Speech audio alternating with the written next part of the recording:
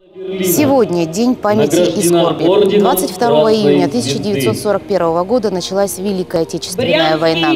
Почтить память погибших и умерших в Великой Отечественной войне пришло немало ангарчан. Среди них ветераны и школьники.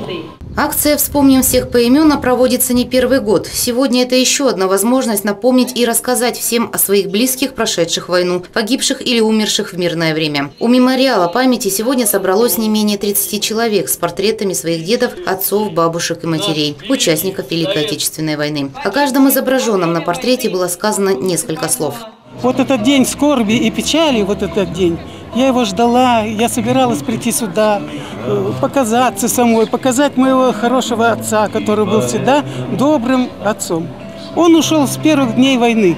И вы знаете, я вот помню этот день, хотя я была маленькая, кроха, но я его помню так, вот стоит мать, нас четыре ребятешечки. В этот день в Музей Победы пришли ветераны Великой Отечественной войны. Много раз они рассказывали близким о том, как воевали, как много ужасов военных лет запомнили. Но сегодня решили почтить память ушедших молча.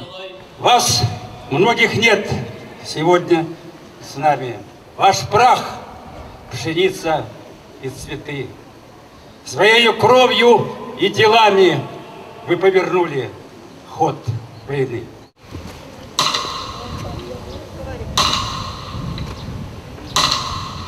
Собравшиеся возложили корзину с цветами к мемориалу памяти, после чего для ветеранов состоялся небольшой концерт, который открыли такие строки. «Сегодня день надежд, что никогда войны не будет, что будет также воздух чист и свеж, и мирно будут жить простые люди».